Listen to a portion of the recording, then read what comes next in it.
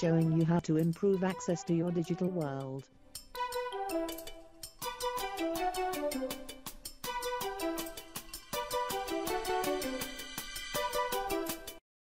Accessible forms in Adobe Acrobat DC. This is another example of a file that we've opened up in Adobe Acrobat Pro to build into an accessible form. The first field we have is a standard text field. We type in our field name, click on all properties, and add the tooltip.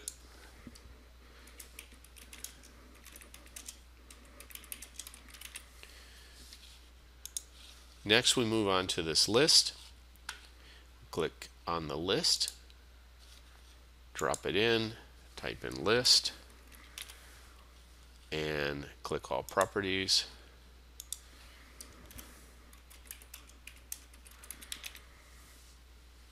Then we move over here to options and we're going to start with the first color. Click add and it adds it to the item list and it shows up here. Then we're going to type in the rest of the colors. I'm going to pause the video here until I have it all done. Once you have the list completed, you might want to resize your box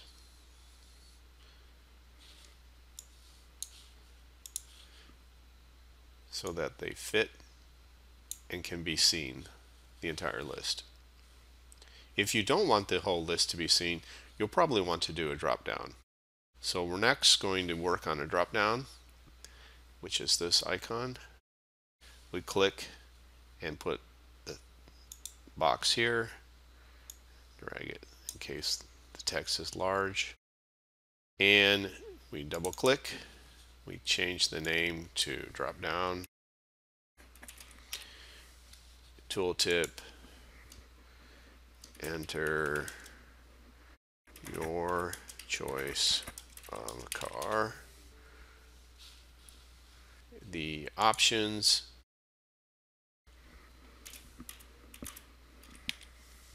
Adding Toyota and so forth. And we'll pause the video again when I get to the end of the list, I can then sort it if I choose to put it in alphabetical order. And of course, I haven't put in every type of car there is. It would take forever to type that. So I'm skipping that, leaving the list as it is. And if you choose to have a particular car highlighted here, just like purple is highlighted up here, you can choose whatever particular model you want and it will stay like that until they drop it down. Now, I've got my list up, but I have this text under here that I had created in Word, and I want to get rid of this for both the drop down and for the list. I go to Tools, Edit PDF, and you see it highlights the content on the screen. So I can highlight this content here and I can hit delete. I can do the same here.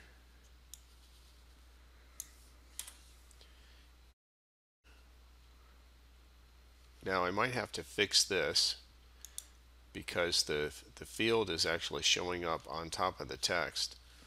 So I'm going to click on the screen and I'm going to click on my prepare form.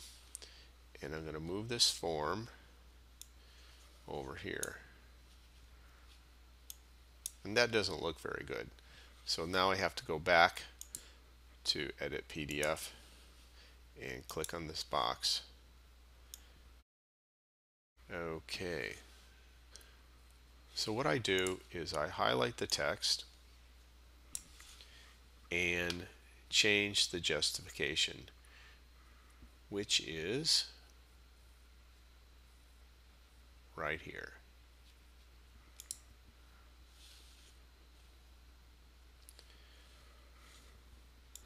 Once you're done editing the text and it looks the way you want it, you want to go back to prepare your form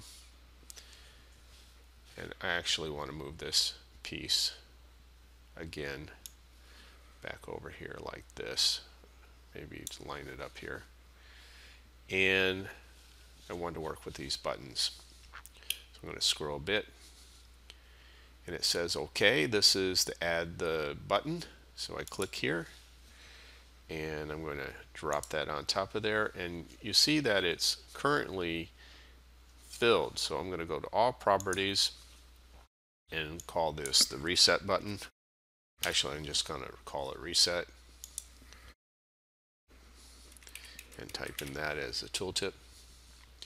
But then I'm going to go to appearance and make my fill color no color. Hit close.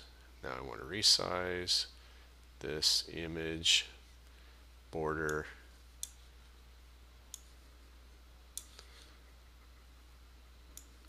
Like this and I'm going to double click again because I don't have it doing anything. I'm going to go over to actions click on select reset a form. I click add. And I choose which fields I want reset on the form. And I click OK and then close next I come up and add another button over print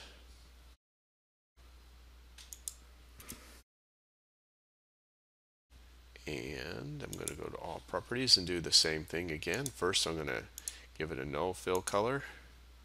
Then I'm going to go and type in the tooltip. Click close. Then form this down like this. Double click again. Go to actions. Execute a menu item click add, choose file print. Click close. The last thing we want to do is go up here and add a signature. So we click this icon and drop it down here. Have it fill the line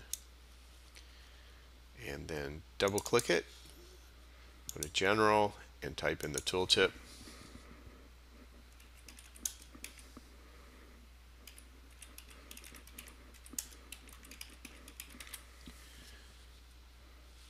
And that's basically all we have to do. Of course, we have to save our file.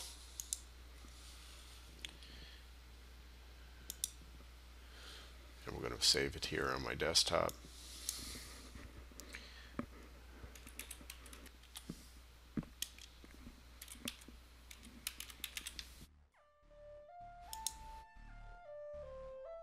And that's it.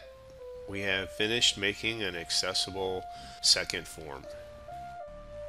This ends our part two of building accessible forms in Adobe Acrobat Pro DC.